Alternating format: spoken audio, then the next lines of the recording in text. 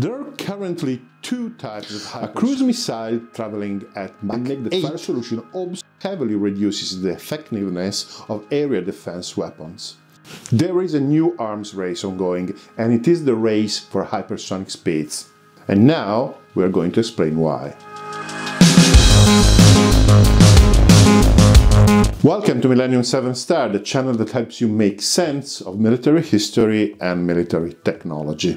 From the point of view of fluid dynamics, you can think of ranges of different speed where the fluid behaves differently. The term hypersonics means, conventionally, above Mach 5.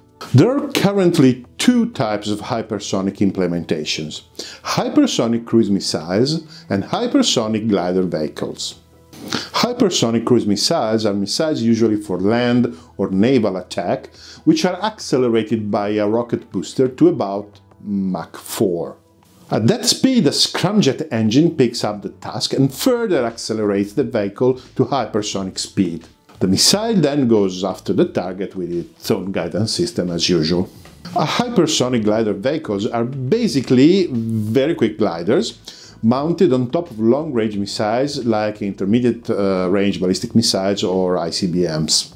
These missiles already fly at hypersonic speed when they're out of the dense part of the atmosphere, and also the warhead uh, already travels at a very high Mach numbers while re-entering. An hypersonic glider can fly at the same speed of a re-entering warhead, but it can, crucially, adjust its trajectory toward the target. To fly at hypersonic speed, a lot of hard technology challenges need to be conquered, most of them connected with the very high temperatures associated with it. It took half a century of research to reach a stage where some practical application starts being possible. And it was worth it because flying at hypersonic speed has some decisive advantages, but probably they are not what you think they are.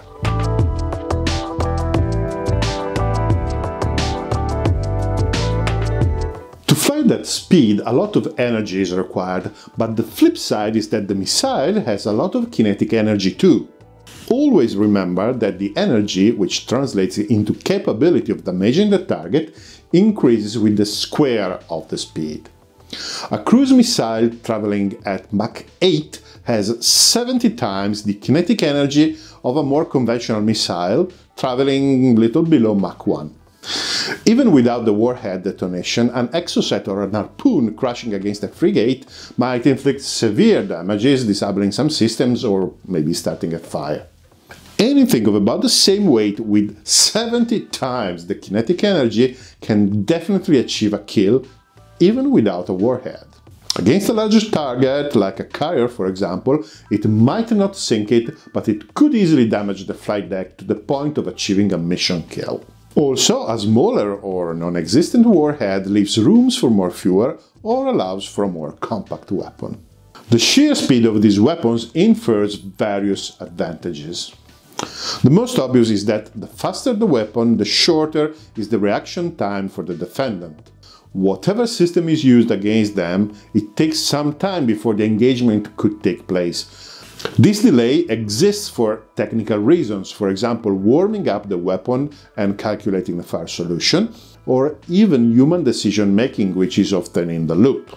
Such a high speed can make the fire solution obsolete right after the calculation, ending up in a non engagement, or the engagement could happen just too late to be effective. Hypersonic speed also heavily reduces the effectiveness of area defense weapons. This is easy to understand if you consider the kind of trajectory that the weapon may have relative to, for example, a missile launcher trying to protect a ship nearby and not co-located with the launcher. The missile will soon be in the position of chasing the hypersonic weapon and being probably slower, it will fall behind. So, while a surface-to-air missile might be able to intercept a weapon directly, squarely against it, it will have serious problems in hitting a missile passing beside it. If you consider that often the system is not co-located with the target, like in the case of the Aegis ships and the carrier, this may well be a big problem for the defender.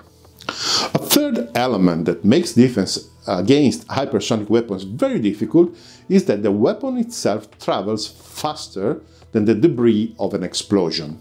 Even if an anti-missile system manages to reach the vicinity of the hypersonic vehicle and it detonates a warhead, the target is moving so fast that the debris of the explosion won't be able to reach it. Even if the detonation happens right in front of the target, it needs to be timed very, very precisely. Just a minuscule fraction of a second too early and it will dissipate before the target goes through it. This is the reason why anti-ballistic missile weapons normally try to impact the re-entry vehicles uh, because an explosive warhead, in this case, is basically of no use.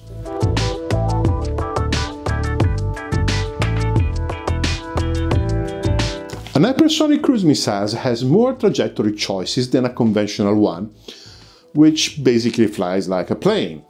For example, a semi-ballistic trajectory bringing the weapon in the high atmosphere to standard reach followed by high-speed flight at lower altitude becomes feasible because the speed remains so high that any interception is very unlikely, as we have already seen. However, the hypersonic gliders can really take advantage of this kind of trajectory. A current missile warhead flies at a very high hypersonic speed, but it follows a ballistic trajectory, and it can't adjust it. This means that it is very predictable, so, with adequate notice, it is not impossible to intercept it. No system so far has demonstrated a great effectiveness against ballistic missiles, but they're getting there. So, an hypersonic glider is a complete game changer. For one, it doesn't fly a ballistic trajectory, it can glide, as the name says, and by doing so, it extends or shortens the range. Being capable of maneuvering the trajectory and the target are not, in principle, predictable. The maneuverability of an hypersonic weapon is really not very high for a series of technical reasons that I'm not covering here. For example, it couldn't loiter on a target, but it still can deviate up to, say, 90 degrees from the original trajectory. As we have seen before, the predictability of the trajectory is key to an effective interception. Finally, the gliding allows for a low trajectory that on global ranges may keep the missile below the radar horizon of the surveillance systems, enough to delay the engagement and make it ineffective. An added bonus of the low trajectory is that the anti-ballistic missile interceptor may be forced to fly longer than expected in a dense atmosphere, slowing down and reducing the effective range.